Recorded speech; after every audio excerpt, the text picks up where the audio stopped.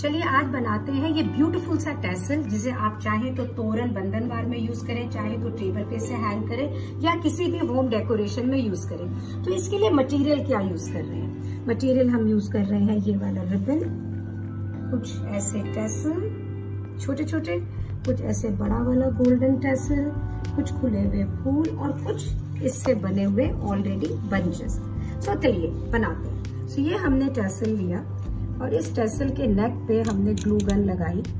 और glue gun लगाने के बाद में हम इन्हें इन टेसल्स को पेस्ट करना चालू करा। फिर इधर ग्लू गन लगाई। फिर यहाँ ग्लू गन लगाई और फिर यहाँ पे इस तरह से टैसल्स को पेस्ट करना चालू किया। तो इन टैसल्स को आप चारों तरफ़ लगाएँगे। ये मेक श्योर करते हुए कि ये अच्छे से चिपक जाए। सो आपने इनको चारों तरफ़ से खूबसूरती से लगाया और इधर आ गया। अब मैंने ये एक फूल को इसको दो हिस्सों में काटा हुआ है। इसे काट के, इसे काट के मैंने ये यहाँ पे गन लगाकर एक हिस्से को चिपका दिया। ताकि ये जो ऊपर के अंदर जितना भी चिपका हुआ सब क्लीन हो जाए। इसी तरह से दूसरी तरफ़ हम लेकर गए और हमने दूसरी तरफ़ से भी इसे चिपका दिया। अब ये गोल्डन डोरी लेके इस गोल्डन डोरी को लिया।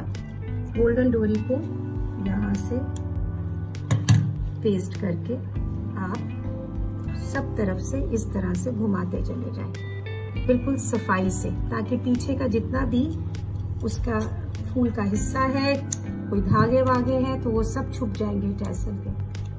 सो दिस इज़ ये नीचे का हिस्सा आपका रेडी हो गया। See how beautiful it is looking अब आपने इस रिबन को इसके अंदर से पास किया। इसका जो डोरी है, उस पे से अब इसमें अगर ये नहीं जा रहा है तो आप इसे पहले नॉट कर लें। नॉट करने के बाद में इस रिबन को इससे पास करें और इसे ऊपर लाके चिपका दें।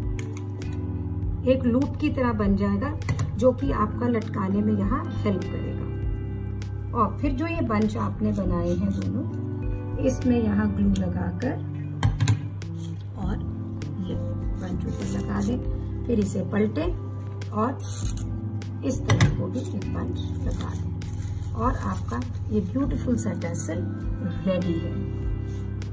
To hang and to enjoy कहीं भी इसे सजा लें खूब सुंदर लगे